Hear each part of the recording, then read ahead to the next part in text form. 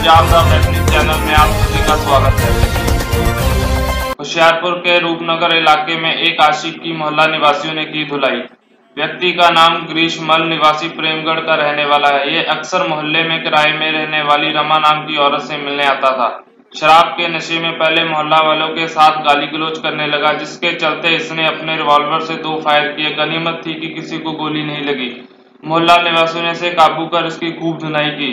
काबू किए व्यक्ति अपने आप को पत्रकार बता रहा था। इसकी सूचना पुलिस को दी गई, जिसके चलते पुलिस ने आकर इसको और उसके रिवाल्वर को काबू करके आगे की कार्रवाई आइए देखते हैं जसवीर ठाकुर की एक विशेष रिपोर्ट ਪ੍ਰੈਸ ਰਿਪੋਰਟ ਆ ਜੀ ਆਪਣੇ ਪ੍ਰਾਈਵੇਟ ਬਣ ਸਕਦਾ ਜੀ। ਇੱਥੇ ਦਿਨ ਹੋਏ ਸਾਨੂੰ ਫੋਨਾਂ ਦੇ ਗਾਲਾਂ ਕੱਢਦਾ।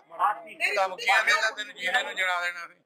ਨਹੀਂ ਇੱਧਰ ਜਿਹੜੀ ਆ ਮਤਲਬ ਇੱਥੇ ਹੁਣ ਕੀ ਹੋਇਆ ਜਿਹੜਾ? ਹੁਣ ਇਹ ਇੱਥੇ ਗਸਤੀ ਜਨਾਨੀ ਦਾ ਮਹਾਰਾਣੀ ਆ। ਉਹਦੇ ਕੋਲ ਲੱਗੇ ਅਸੀਂ ਫੜਿਆ ਗਿਆ ਸਾਡੇ ਤੇ ਵਾਇਰ ਕੀਤਾ। ਅਸੀਂ ਆਪਣੇ ਬਚਾਅ ਵਾਸਤੇ ਇਹਨੂੰ ਫੜਿਆ। ਨਹੀਂ ਇਹ ਜਿਹੜੇ ਇੱਥੇ ਉਹ ਜਨਾਨੀ ਕੀ ਕਰਦੀ ਇੱਥੇ ਕੀ ਮਤਲਬ? ਕਰਦੀ ਹੋਈ ਜੀ ਜਿਹੜਾ ਬੋਲਵਾਰ ਦੇ ਨੂੰ ਅੱਗ ਰਿਹਾ ਤਾਂ ਫਿਰ ਇਹਨਾਂ ਨੂੰ ਜੇ ਮਾਲ ਨਹੀਂ ਇਹਨੂੰ ਇਹਨੂੰ ਨਾ ਕੜਿਆ ਇਹਨੂੰ ਫਿਰ ਫੜਿਆ ਕਿਹਨਾਂ ਨੇ ਜੀ? ਮਹੱਲੇ ਵਾਲੇ ਨੇ ਫੜਿਆ ਸਰ। ਗਲੀ ਚਲਾਈ ਕੋਈ ਗੋਲੀਆਂ ਨੇ ਦੋ ਗੋਲੀਆਂ ਚਲਾਈਆਂ ਠੀਕ ਹੈ ਜੀ।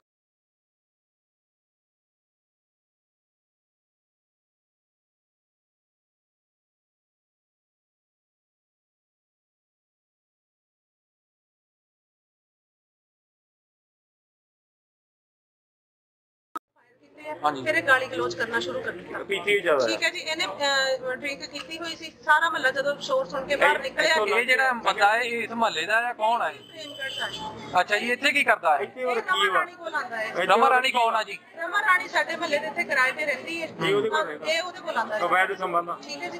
ਅਸੀਂ ਇਹਦੇ ਕੋਲ ਇੰਨੇ ਕੁ ਪਰੇਸ਼ਾਨ ਹੈ ਸਾਨੂੰ ਧਮਕੀਆਂ ਦਿੰਦਾ। ਹਰ ਟਾਈਮ ਇਹ ਵੀ ਤਾਂ ਉਹ ਵੀ। ਨਹੀਂ ਕਿਤੇ ਨੂੰ ਲੱਗਦਾ ਵੀ ਇਹ ਬੰਦੇ ਨੇ ਮਹੱਲੇ ਦੇ ਵਿੱਚ ਕੋਈ ਇਸੇ ਤਰ੍ਹਾਂ ਦੀ ਗੰਦਗੀ ਪਾਉਣ ਦੀ ਕੋਈ ਜਿਹੜਾ ਵਿਰੋਧ ਹੁਣੇ ਬੁਰਕ ਮਾਰ ਕੇ ਗਿਆ ਬਹੁਤ ਜ਼ਿਆਦਾ। ਜਾਣ ਲੱਗਾ ਬੁਰਕ ਮਾਰ ਕੇ ਗਿਆ। ਬਹੁਤ ਜ਼ਿਆਦਾ ਗੰਦਗੀ ਫੈਲਾਈ ਹੋਈ। ਹੈ ਓਕੇ ਹੁਣੇ ਬੁਰਕ ਮਾਰ ਕੇ ਗਿਆ। ਸੀ ਭਾਜੀ ਭਾਜੀ ਉਹ ਤੁਸੀਂ ਨਾ ਬੋਲੋ ਨਾ ਵੀ ਆਵਾਜ਼